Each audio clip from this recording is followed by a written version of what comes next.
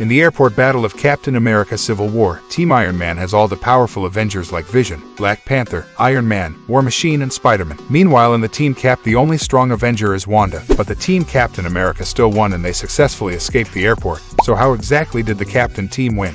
The answer is Ant-Man. The Avengers and the Iron Man team don't know that Ant-Man will appear in the Team Cap. Tony even brought Spider-Man on his team to play safe and to defeat Captain America's team. But Captain America is also not dumb, he also brought Ant-Man to defeat Team Iron Man. That's why when Ant-Man got bigger Captain America said I guess that's the signal. And Iron Man's team was shocked that's why Iron Man says does anybody on our side has any shocking powers to disclose because they didn't know what to do. But thanks to Spider-Man's plan they were able to defeat Ant-Man but it was too late because Captain and Bucky had already escaped by then. And I know that Black Widow also helped Captain and Vision accidentally hit War Machine which also helped the Team Cap. But the main reason was Ant-Man.